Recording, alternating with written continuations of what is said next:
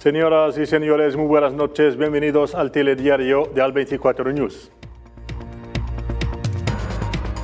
El presidente argelino Abdelmajid Tebboune preside una reunión del Consejo de Ministros en la cual llama al gobierno a estar a la altura de las aspiraciones del pueblo argelino.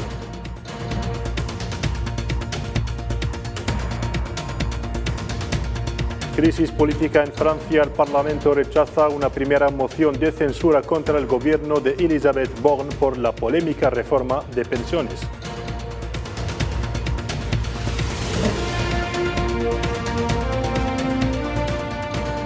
Los presidentes de China y Rusia defienden un nuevo orden mundial en ocasión de su reunión en Moscú en medio de la guerra en Ucrania.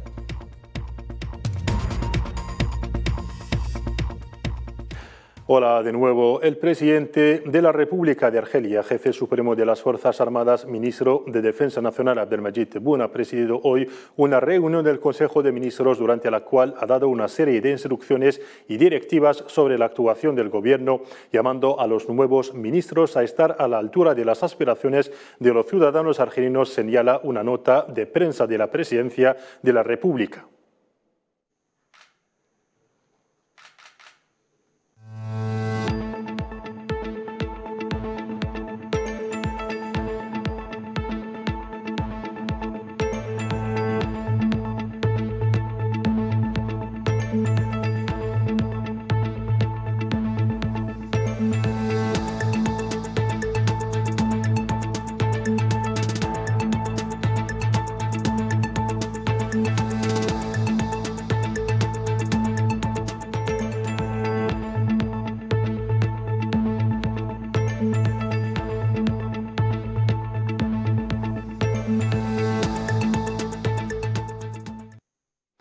Fuera de Argelia, en el marco de la celebración de la fiesta de la victoria que coincide con el 19 de marzo, fecha de la firma de los acuerdos de Evian que pusieron fin a la ocupación francesa de Argelia, miembros de la comunidad argelina residente en Europa organizaron mítines en diversas capitales y ciudades europeas, en particular en el corazón de la capital francesa, París, donde expresaron su apego a su patria y saludaron los logros alcanzados gracias al programa del presidente de la República, Abdelmajid Tebboune. Mansari nos amplía la información.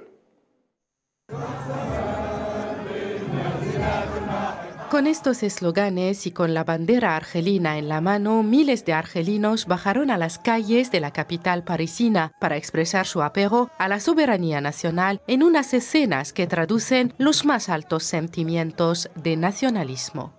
Estamos aquí este 19 de marzo en la calle de Coronel Fabián para decir alto. ¡Viva Argelia! Argelia seguirá siendo unida. ¡Viva Argelia! ¡Viva el ejército! ¡Y viva mi país! Argelia corre en nuestra sangre. Llevamos Argelia en nuestro espíritu y en nuestros corazones. Llevaremos Argelia hasta nuestro último respiro. Se trató de una ocasión para expresar el apoyo de la comunidad nacional establecida en el extranjero a sus dirigentes y su apego a la estabilidad y su apego a la estabilidad y la seguridad de su patria, así como refleja el rechazo de los argelinos residentes en el extranjero a los complots urdidos contra Argelia y a la odiosa y sistemática campaña destinada a perjudicar su estabilidad. Esta manifestación reviste pues un carácter altamente simbólico, dado que la nueva Argelia, apegada a sus constantes y principios, a su soberanía y a su unidad nacional, avanza con pasos seguros hacia la realización de sus logros, decidida a luchar contra todos aquellos que intentan perjudicar su integridad territorial y la unidad de su pueblo, un pueblo con el cual cuenta para hacer frente a toda tentativa de perjudicar a la Argelia de los mártires.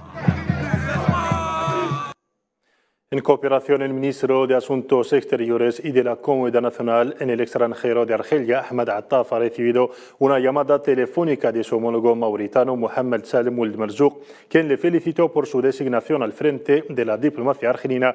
Ambos ministros han reafirmado en su conversación su determinación en establecer una asociación sólida y mutuamente beneficiosa, además de consolidar la coordinación política sobre cuestiones regionales e internacionales. Y por otra parte, el nuevo jefe de la diplomacia argelina ha recibido también una llamada telefónica de su homólogo tunecino Nabil Amar, quien a su vez le felicitó por su nuevo cargo. Ambos cancilleres reafirmaron su voluntad de proseguir los esfuerzos de coordinación política, además de intensificar la cooperación bilateral en diferentes ámbitos. Siempre con diplomacia, el secretario general del Ministerio de Asuntos Exteriores, Amar Belani, ha recibido al embajador del Reino de Arabia Saudí en Argel, Abdullah bin Nasser al-Busairi. Ambas partes han saludado con este motivo las sólidas relaciones que unen ambos países, afirmando la fuerte voluntad de los dirigentes argelinos y saudíes de promover la cooperación bilateral en distintos sectores y abrir aún más perspectivas que reflejan la capacidad de ambos países, su sitio y su importante papel tanto a nivel regional regional como internacional.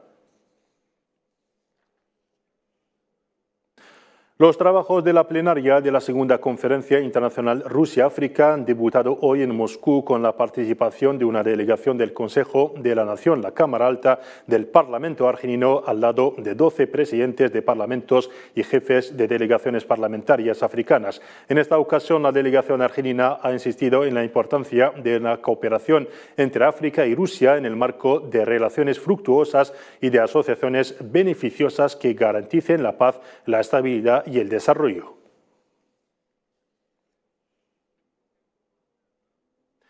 Y siempre en el marco de la misma conferencia, el presidente ruso Vladimir Putin afirmó hoy que Rusia enviará gratuitamente alimentos a los países africanos más necesitados si tuviera que suspender el acuerdo del grano en dos meses, cuya continuidad supeditó al cumplimiento de los compromisos con la parte rusa. El jefe del Kremlin hacía esta afirmación en una intervención en la conferencia parlamentaria internacional Rusia-África.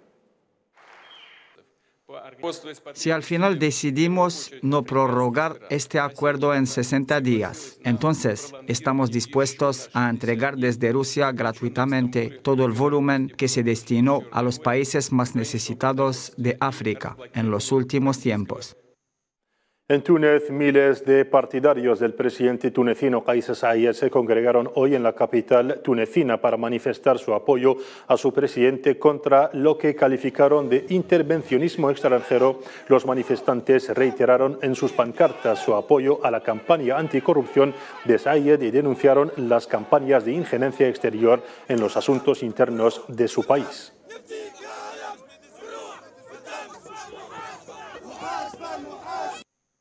El presidente saharaui, también secretario general del Frente Polisario, Brahim Ghali, ha proseguido hoy su, visita de Estado a la República de Venezuela por invitación de su homólogo venezolano Nicolás Maduro. En el segundo día de su desplazamiento, el presidente saharaui ha visitado al Panteón Nacional de Venezuela, donde ha depositado una ofrenda floral ante el sarcófago del libertador Simón Bolívar.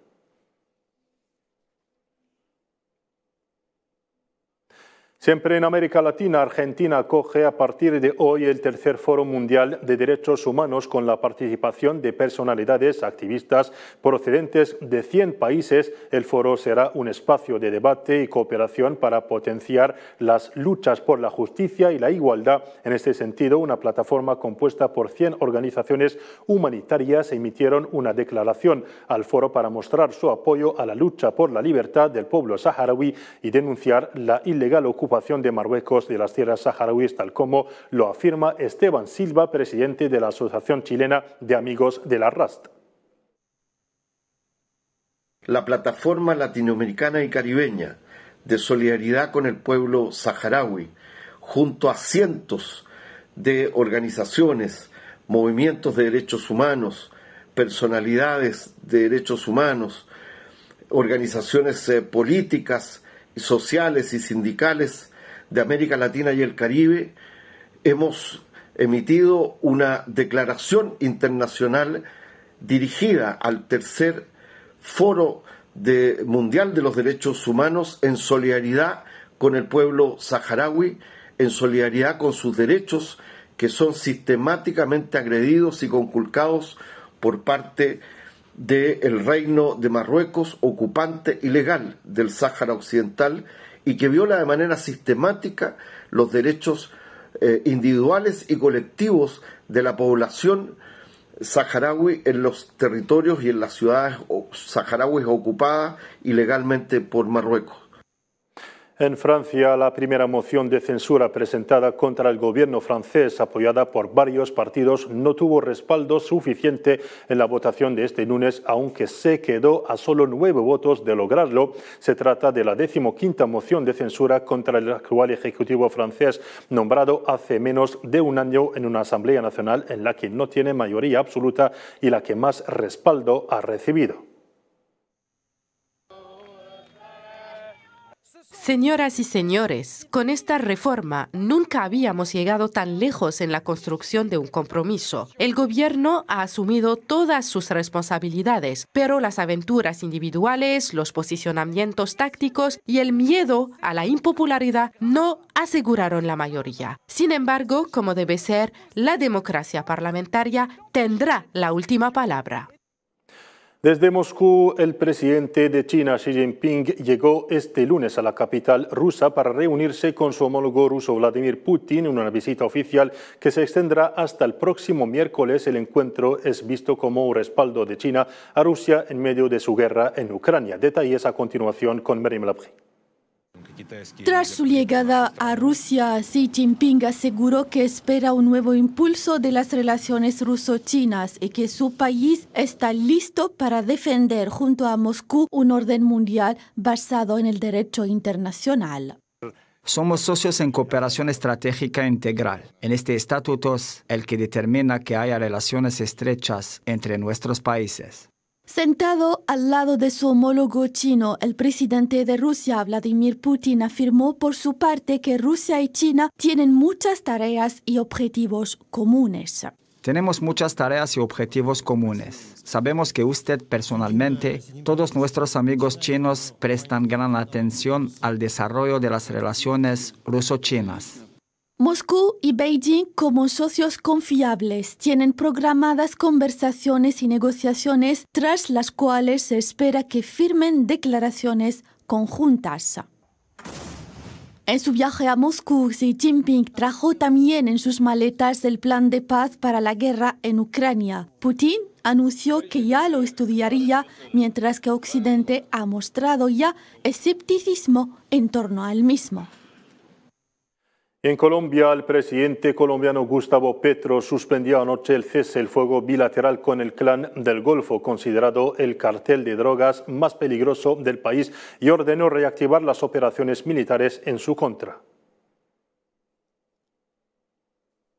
Ha tomado el gobierno nacional, el señor presidente de la República, la decisión de suspender el decreto 2658 y ordenar, por lo tanto, a las fuerzas militares y a la Policía Nacional que desarrollen con toda su capacidad operaciones ofensivas contra el clan del Golfo.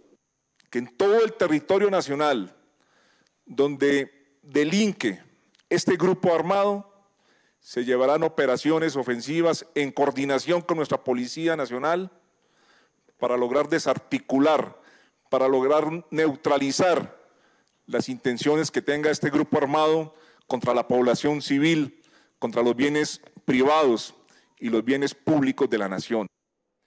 Y siempre en Colombia, la caída del helicóptero del ejército colombiano cobró la vida de cuatro militares que se encontraban a bordo, informó el presidente Gustavo Petro, asegurando que no hubo sobrevivientes en el accidente registrado en Quibdó, en el oeste del país. El ejército detalló que el accidente fue provocado por un fallo técnico.